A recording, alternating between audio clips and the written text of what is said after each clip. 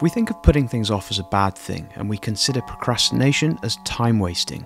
Stick around for a couple of minutes and I'll explain why it's worth rethinking that. Okay, so I'm at my most efficient when I'm approaching a deadline. When time's running out, I'm fully focused. I'm always going to meet my deadline because as time diminishes, my focus increases. The best thing about wasting time doodling is that you're not wasting your time at all, and here's why. Working on an inconsequential sketch like this resets the mind. It's inconsequential because I'm not doing it for somebody else.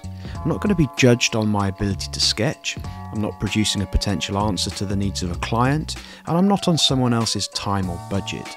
In fact, this sketch is going to stay hidden and most probably forgotten in my little notepad. Within moments of putting pen to paper, I can feel my mind emptying.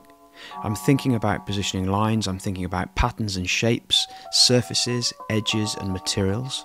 I'm thinking about the direction of light, what's exposed to that light and what's hidden. I'm playing with colours, shadows, and depth. You may be thinking that this isn't emptying my mind at all, but it is. It's emptying it of clutter and it's reintroducing order I'm essentially tidying things away and giving myself a clean start and a renewed level of energy. And the best bit of all? It's that without any effort, I'm practicing my sketching skills. I'm building muscle memory and I'm expanding my library of sketching tools.